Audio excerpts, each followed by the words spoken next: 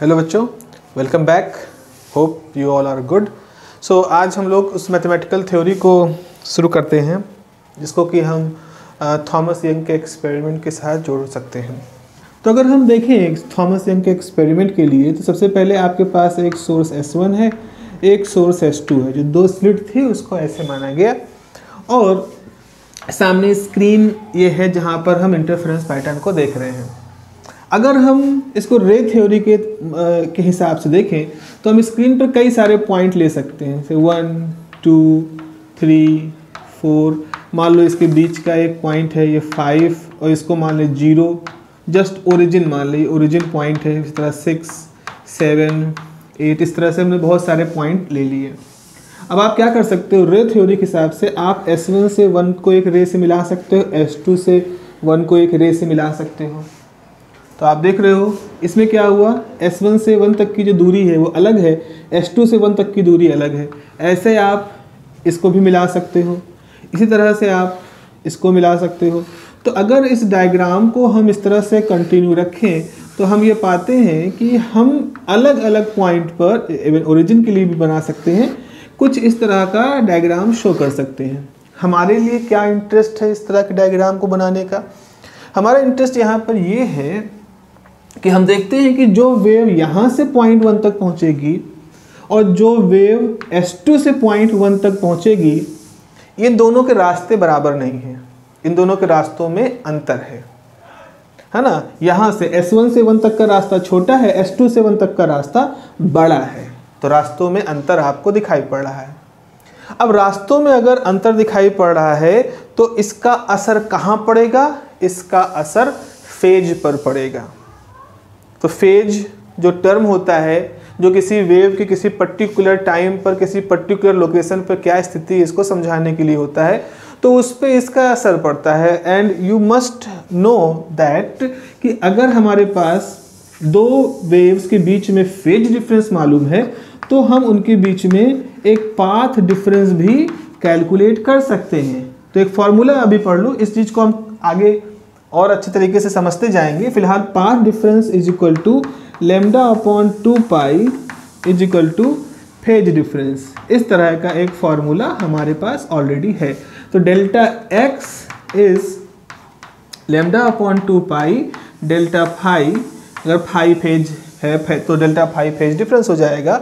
तो हमारा इंटरेस्ट यहाँ पर इन दोनों इस पॉइंट से लेके और इस पॉइंट तक जाने में, यानी S1 से 1 तक जाने में और S2 से 1 तक जाने में, हम अलग अलग लंबाई के रास्ते चुनेंगे। हम इस रास्ते को चुनेंगे S1 से 1 तक जाने में, इस रास्ते को चुनेंगे S2 से 1 तक जाने में। तो हम पाएँगे कि इन दोनों रास्तों की लंबाई में अंतर होने की वजह से मतलब पाथ डिफरेंस है पाथ अलग अलग लंबाई का है तो वहाँ पर एक फ़ेज़ डिफरेंस होगा और वो फ़ेज़ डिफरेंस कितना होगा? Two pi by lambda of the path difference. तो अगर पाथ डिफरेंस है तो वहाँ फ़ेज़ डिफरेंस होगा और हम इस फ़ेज़ डिफरेंस को मान लो डेल्टा के फॉर्म में रिप्रेजेंट कर रहे हैं। तो कहने का मतलब ये है कि अपनी मैथमेटिक्स की शुरुआत करने से पहले हम ये बता देते हैं कि जब कोई वेव S1 से 1 तक जाएगी तो उसका जो फ़ेज़ होगा और जो वेव S2 से 1 तक जाएगी, उसका जो फ़ेज़ होगा वो दोनों फ़ेज़ सेम नहीं होगा। क्यों सेम नहीं होगा? क्योंकि दोनों रास्ते बराबर लंबाई के नहीं है। अगर रास्ते बराबर लंबाई के नहीं है, इसका मतलब रास्तों में अंतर है पार्ट डिफरेंस है। अगर पार्ट डिफरेंस है तो इस फार्मूले के हिसाब से फ़ेज़ डिफरेंस होगा और फ़ेज़ डिफरेंस को आपने एक डेल्टा सिंबल से ले लिया है। तो अगर हम इस चीज़ को समराइज करें तो हम एक सिंपल सा डायग्राम यहाँ पर आपके लिए बना सकते हैं कि मान लीजिए आपके पास कोई सोर्स S1 है, वो यहाँ तक गया ये कोई सोर्स S2 है, यहाँ से लाइट गई। तो इस लाइट को यहाँ से जो रेज आ रही है, इसको हम लिखते हैं y1 वन बराबर A one sine omega T और जो यहाँ से लाइट जा रही है इसको लिख सकते हैं y2 बराबर A two sine omega T plus कोई फ़ेज़ डेल्टा तो जो दो वेव्स यहाँ से जा रही हैं और यहाँ से जा करके जो पॉइंट P पर सुपर इम्पोज करेंगी वो वेव कौन सी है? Y1 ये और y2 ये। ठीक है, ये दो वेव्स हैं। तो यहाँ पर लिखेंगे, यही आप लिख सकते हो कि मान लीजिए हमारे पास तो यहाँ पर हम कहेंगे let us consider two light waves S1 and S2 जिन दोनों लाइट वेव की फ्रिक्वेंसी सेम है। और फ्रिक्वेंसी सेम होने के साथ साथ उनके बीच में एक फ़ेज़ डिफरेंस है डेल्टा का। वो फ़ेज़ डिफरेंस जैसा कि मैंने बताया, इस पार्ट डिफरेंस की वजह से है। तो अगर आपने S1 S2 को चुन लिया और पॉइंट P को चुन लिया, ना इनके बीच की दूरी आप बदल रहे हो, ना पॉइंट ऑब्जर्वेशन पॉइंट को आप चेंज कर रहे हो। तो इसका मतलब है S1 और S2 के बीच एस एस वन पी और S2P के बीच का पाथ आपने फिक्स कर दिया। तो पार्ट डिफरेंस फिक्स हो गया। पार्ट डिफरेंस फिक्स हो गया तो फ़ेज़ डिफरेंस फिक्स हो गया। तो इसका मतलब है ये जो पॉइंट है डेल्टा ये कब बदलेगा? ये तब बदलेगा जब हम अपना ऑब्जर्वेशन पॉइंट अपना यहाँ से बदलें। तो ऑब्जर्वेशन पॉइंट हमने कहीं चूज़ कर लिया तो डेल्टा है। यहाँ कहीं चूज़ कर लोगे तो सकता है डेल्टा कुछ और हो जाए। मान लो डेल्टा की वैल्यू यहाँ पर आने पर कुछ पाई बाई फोर है। यहाँ आने पर हो सकता है पाई बाई सिक्स हो जाए। यहाँ आने पर हो सकता है ज़ीरो भी हो जाए। अगर दोनों पाथ बराबर हो जाएँगे तो पाथ डिफरेंस ज़ीरो हो जाएगा तो फ़ेज़ डिफरेंस भी ज़ीरो हो सकता है। तो ये एक ऐसा टर्म है जो कि चेंज हो सकता है ऑब्जर्वेशन पॉइंट के हिसाब से। तो हम यहाँ पर कहेंगे कि मान लीजिए हमारे पास एक मतलब एक सिचुएशन है जहाँ दो लाइट सोर्स हैं एस वन एस टू और इन दोनों लाइट सोर्स की जो फ्रिक्वेंसी वो सेम है। इनका amplitude A one A two है। अब ए वन ए टू हम सेम भी मान सकते हैं। अभी थोड़ी देर के लिए अलग अलग ले लें। और एस वन पी से लेकर के एस टू पी तक के बीच की जो दूरी है इसमें जो पाथ का डिफरेंस है उसकी वजह से एक फ़ेज़ डिफरेंस है। सो so, हमारे पास क्या हो जाएगा? We have we have y1 is equal to a1 sine omega t y2 is a2 sine omega t plus delta delta is the phase difference between the path due to the path जो है यहाँ पर अब by superposition by superposition of light waves light waves के सुपर पोजिशन की वजह से क्या होगा? आपके पास y बराबर जो होगा, वो y1 वन प्लस वाई के बराबर हो जाएगा। जैसा कि थॉमस एंग ने सजेस्ट किया था।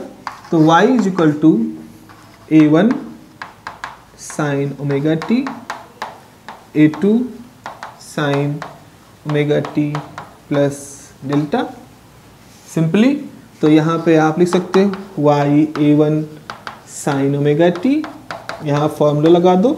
Sine A cos B cos A sine B तो sine omega T cos delta plus यहाँ लिख दे रहा हूँ मैं plus A two sine delta cos omega T ठीक है, कौन सा फॉर्मूला लगा यहाँ पर? Sine A cos B cos A sine B तो आप क्या कर सकते हैं? ओमेगा टी का टर्म यहाँ पर है। ओमेगा टी का टर्म यहाँ पर है। दोनों एक साथ हो सकते हैं। तो हम यहाँ पर लिख सकते हैं y is equal to A one plus A two cos delta sine omega T plus A two sine delta cos omega T okay इस तरह से हमने कर दिया है। ऑब्जर्वेशन पॉइंट अगर आपने फिक्स रखा है, इनका एम्पलीट्यूड नहीं चेंज कर रहे हो तो जो ब्रैकेट की क्वांटिटी ये भी फिक्स हो जाएगी। ये ब्रैकेट की क्वांटिटी भी, भी फिक्स होगी। तो हम मान लें let A one plus A two cos delta is equal to some constant जैसा कि पहले भी इस तरह से किया था सुपर पोजिशन प्रिंसिपल में याद करिए। तो ए ए कॉस कुछ फाइव कह दें। ए कॉस फाइव और ऐसे ही A two sine delta is equal to A sine phi यहाँ पर क्या है? यहाँ पर आपके पास ए और फाइव क्या है? कुछ कांस्टेंट्स हैं जिसको कि हम कैलकुलेट कर सकते हैं। तो ऐसा करने पर so y is equal to क्या हो गया? A cos phi sine omega T plus A sine phi cos omega T ये हो जाएगा। तो यहाँ से ए हो जाएगा sine omega T plus phi simply तो ये हमारे पास आ गया कि जब ये दो साइन वेव्स आपस में सुपर इम्पोज करेंगी, ये दो साइन वेव आपस में सुपर इम्पोज करेंगी तो इनके सुपर पोजिशन के बाद जो रिजल्टेंट वेव होगी, ये जो दिख रही है, ये रिजल्टेंट वेव भी कैसी है? साइनोसॉडल वेव है। ये भी साइनोसॉडल वेव है और इसमें भी कोई भी डिफरेंस नहीं है। डिफरेंस क्या है? एम्पलीट्यूड का। यहाँ amplitude A one A two है। यहाँ एम्पलीट्यूड ए है। यहाँ पर फ़ेज़ कुछ था, दोनों में अंतर डेल्टा था, लेकिन जो रिजल्टेंट वेव बनी, इसमें अपना एक फ़ेज़ फाई है। अब ये फाई और ये ए हम कैलकुलेट कर सकते हैं। सपोज़ हमने इसको इक्वेशन नंबर वन कहा, इक्वेशन नंबर टू कहा। जैसा कि पहले भी हम लोग इस बारे में चर्चा कर चुके हैं, बता चुका हूँ मैं आपको कि हमारा इंटरेस्ट इंटेंसिटी में है, क्योंकि इंटेंसिटी वो चीज़ है जिसको कि हम फिजिकली ऑब्ज़र्व कर सकते हैं। तो हम इस चीज़ को कैलकुलेट करना चाहते हैं ए को। और ए को कैलकुलेट करने का तरीका क्या है? हम इक्वेशन नंबर वन और टू को स्क्वायर करके ऐड कर दें। तो जब आप ऐड कर दोगे तो सुपर पोजिशन के बाद जो आपके पास रिजल्टेंट वेव आ रही है, उस रिजल्टेंट वेव का एम्पलीट्यूड आपको मिल जाएगा। तो चले यहाँ पर लिख सकते हैं to calculate the amplitude of resultant wave square and add equation equations 1 and 2 resultant amplitude क्या होगा? ए की वैल्यू को कैलकुलेट करने के लिए हम इसको स्क्वायर करके ऐड कर दें। स्क्वायर करके ऐड करने का मतलब है A square sine square phi plus A square cos square phi इसका square A one plus A two cos delta का whole square plus A two sine delta का स्क्वायर कर दो तो सिंपली ऐसे स्क्वायर हो जाएगा। ये हो जाएगा ए स्क्वायर यहाँ से हो जाएगा A one square A two square cos square delta plus two A one A two cos delta plus A two square sine square delta तो ये और ये आपस में कॉमन कर सकते हैं। तो ये हो जाएगा A one square A two square अब यहाँ पर मैंने cos square delta plus sine square delta वो वाला टर्म हमने यहाँ पर मान लिया आप लोग समझ गए होंगे। तो ये हो गया two A one, A two cos delta. ये हमारे पास फॉर्मूला एक बड़ा इंपॉर्टेंट रिलेशन आ गया। ये इंपॉर्टेंट रिलेशन है। जो ये दिखा रहा है कि जो रिजल्टेंट वेव बनी है सुपर पोजिशन के बाद, उसकी जो इंटेंसिटी है इंटेंसिटी क्यों कह रहे हैं? क्योंकि मालूम है हमें कि इंटेंसिटी जो होती है वो एम्पलीट्यूड के स्क्वायर के प्रोपोर्शनल होती है। थोड़ी देर के लिए हम मान लें स्क्वायर के ही बराबर होती है। तो आपके पास क्या है? अगर आप लिखना चाहते हो कि if A square is capital I capital I is the intensity of the resultant wave जो कि सुपर पोजिशन के बाद बनी है। और ए वन स्क्वायर अगर आई वन है ए टू स्क्वायर अगर आई टू है वी गेट तो हमारे पास क्या हो जाएगा? हमारे पास हो जाएगा I is equal to I one not square I two plus two under root I one I two under root के बाहर, ये। तो ये एक और रिलेशन है हमारे पास, आ गया इस फॉर्मूले को, चाहे हम एम्पलीट्यूड के टर्म में लिखें, चाहे हम यहाँ पर लिखें। अब एक खास बात देखो, अगर आप सोर्स को नहीं चेंज कर रहे हो तो A one A two fix रहेंगे तो एम्पलीट्यूड उनके फिक्स हैं। चेंज क्या हो सकता है? डेल्टा डेल्टा क्यों चेंज होगा? अगर हम अपने ऑब्जर्वेशन पॉइंट को बदलें। सवाल है ऑब्जर्वेशन पॉइंट को क्यों बदलेंगे? क्योंकि हम पूरे पर्दे पर, जो हमारी स्क्रीन है उस स्क्रीन में हम देखना चाहते हैं कहाँ ब्राइट बनी, कहाँ डार्क बनी। तो हम स्क्रीन के हर पॉइंट को देख रहे होंगे। ऐसा तो नहीं कि हमने अपना सारा ध्यान केवल इसी पॉइंट पे फोकस कर दिया है। अरे भाई इंटरफेरेंस पैटर्न तो पूरे स्क्रीन पे बना है ना। यहाँ काली पट्टी, यहाँ चमकीली, यहाँ काली, यहाँ चमकीली। तो डिस्ट्रीब्यूशन तो पूरी स्क्रीन पे हुआ है। तो आप कभी ऑब्जर्वेशन पॉइंट कभी यहाँ देखो, कभी यहाँ देखो, कभी यहाँ देखोगे। तो अगर आप अपना ऑब्जर्वेशन पॉइंट चेंज कर रहे हो तो उस ऑब्जर्वेशन पॉइंट के चेंज होने की वजह से क्या चेंज हो रहा होगा? डेल्टा की वैल्यू। अब कितना चेंज हो सकता है? डेल्टा की वैल्यू तो कुछ भी हो सकता है, लेकिन बस एक शर्त ये रहेगी कि डेल्टा की हम वही वैल्यू चूज़ करेंगे जिससे कॉस की या तो मैक्सिमम वैल्यू आ जाए या कॉस की मिनिमम वैल्यू आ जाए। तो कॉस की मिनिमम वैल्यू या मिनिमम वैल्यू क्या कहो? मिनिमम वैल्यू कितनी हो सकती है? Minus one. भाई, कॉस में तो ज़ीरो के बाद माइनस वन भी हो सकता है ना तो मिनिमम तो माइनस वन हुआ। और मैक्सिमम कितना हो सकता है? वन। तो जरा यहाँ से देखो। अगर कॉस वन हो गया तो ये वैल्यू वन हो गई। तो ये फॉर्मूला क्या हुआ? A square plus B square plus two A B और अगर कॉस की वैल्यू माइनस वन हो गई तो ये माइनस हो जाएगा A square plus B square minus two A B okay so cos की वैल्यू अगर मैक्सिमम वैल्यू पे पहुँच जाता है वन पर तो हम मैक्सिमम ए स्क्वायर या मैक्सिमम आई देखेंगे। और अगर कॉस की वैल्यू माइनस पे आ जाता है तो हम एक मिनिमम इंटेंसिटी को देखेंगे। तो अब हमें इस फॉर्मूले से ये दिखाई पड़ रहा है कि the the nature of suppose this is equation number three तो the value of A square strongly depends upon the value of cos delta तो यहाँ पर लिख सकते हैं कि इक्वेशन नंबर थ्री है इक्वेशन नंबर फोर है, इसको ना लिखें। यहाँ पर लिखें in equation 3 in equation 3 the value of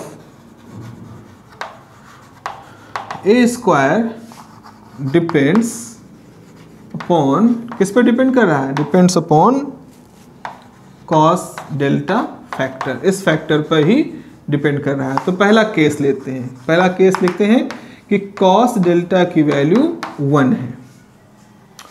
तो कॉस डेल्टा की वैल्यू वन है तो हम क्या लिख सकते हैं? ए स्क्वायर को लिख सकते हैं ए मैक्स स्क्वायर ए उस समय मैक्सिमम होगा एम्पलीट्यूड मैक्सिमम होगा। तो फ़िलहाल ऐसा लिखने पर cos this so A square तो हैंस आपके पास हो जाएगा A max square is A one square plus A two square plus two A one A two क्योंकि कॉस को आप वन रख चुके हो, या लिख सकते हो A max square is A one plus A two का होल स्क्वायर है ना?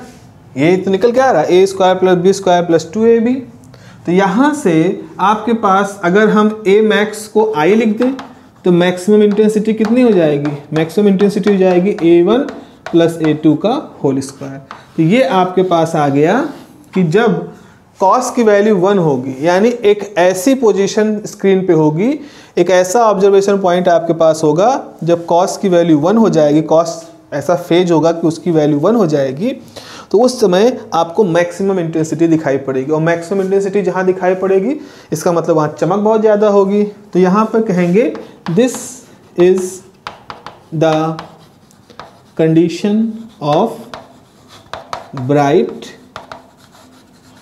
fringe bright पट्टी होती है, इसको फ्रिंज कहते हैं। This is the condition of bright fringe अब जरा इसके बारे में देखो कॉस के बारे में।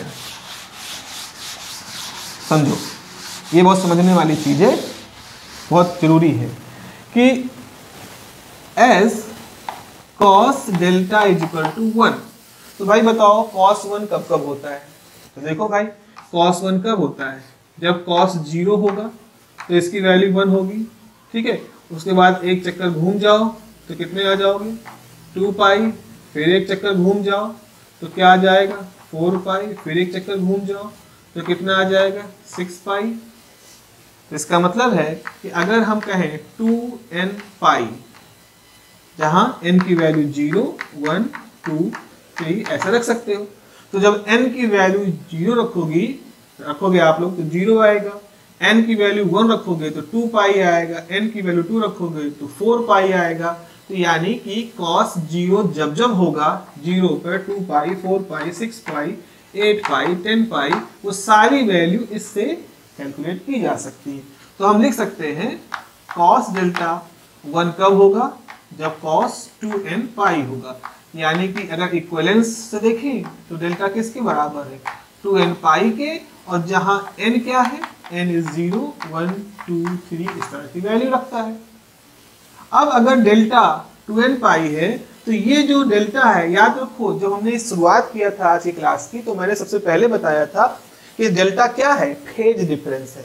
तो अगर delta phase difference two N pi है तो इसका मतलब ये है कि जब जब phase difference two N pi होगा, तब तब आई मैक्स वाली कंडीशन वहाँ पर आ जाएगी, वहाँ लागू हो जाएगी।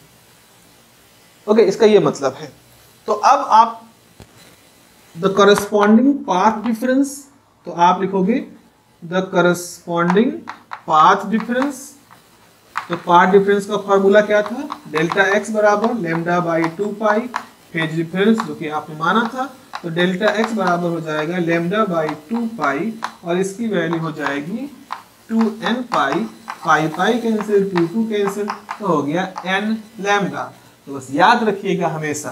अब इस चीज़ को बॉक्स में आप बना लें कि जब भी हम ब्राइट की बात करेंगे, चमकीली फ्रिंज की बात करेंगे तो हमारा phase difference two N pi होगा और जो पार्ट डिफरेंस है, वो एन लेमडा कहा जाएगा। उस समय उसकी वैल्यू को हम एन लेमडा कहेंगे। ये एक बहुत ज़रूरी कंडीशन निकल के आई है ब्राइट फ्रिंज के लिए। और इसको आपको फिंगर टिप पे याद होना चाहिए। प्रैक्टिस करोगे बार बार लगाओगे तो याद भी हो जाए, कोई इतनी बड़ा इशू नहीं है। ठीक है? ये हो गया केस वन अब आते हैं केस नंबर टू पर।